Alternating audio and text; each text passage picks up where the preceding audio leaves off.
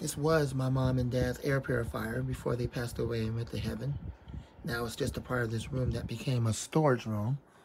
If you recall, it used to be a bedroom. It was my parents' room, but they're not here anymore. So we just made it into a storage room. Put all this stuff in here. Yep, that's pretty much what it is now because they're in heaven. There's the fan that we got mom right before she went to heaven. And here is the other one that she used in the room and my dad keep the air clean. Still running. Here's the fan my mom used at the time when she was still here before she passed away and went to heaven. It still runs. We'll get a video of that real soon. Thanks for watching. I'm the Fan Man and out. Keep us in prayer. We're still trying to heal from them being gone. We're still grieving every now and then.